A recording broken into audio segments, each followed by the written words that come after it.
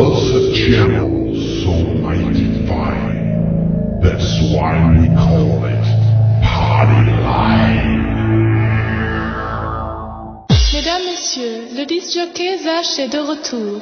Jamen så snak dog dansk, eller jeg nuker dig, din bitte chatteluder. Ja, så er klokken gået hen og blevet nok så mange, og du er lagget direkte ind på Partyline-kanalen 112 megabit, hvor du vil være i selskab med 200 totalt tossede tastenørder. Bag mig i teknikken sidder Partybot med en frisk DCC klar, og din local host er som sædvanlig Dontron.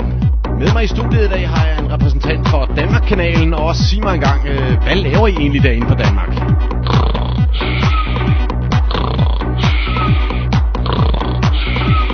Ja, og vi siger tak til Danmark-kanalen.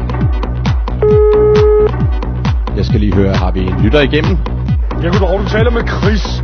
Hey, Chris! WB og Ræ med dig, du. Goddag, jeg vil gerne klage. Der, der var en ubehøvlet fyr, der først smækkede røret på for mig.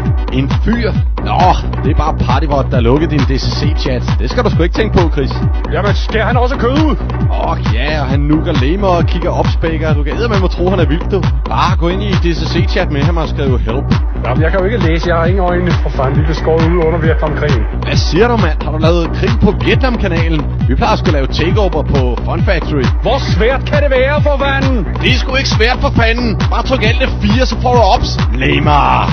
Chris was kicked from Party Line by Don